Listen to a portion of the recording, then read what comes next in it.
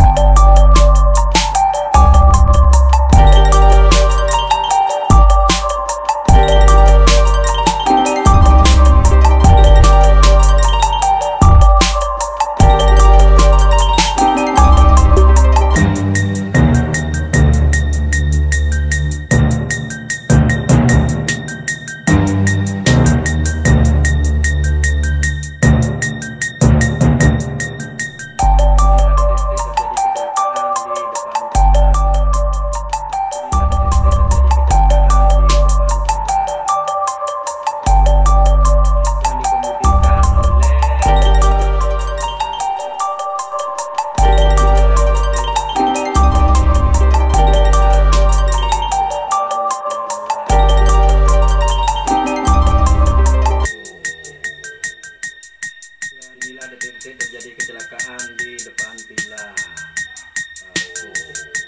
Yang dikemudikan oleh eh, seorang bule.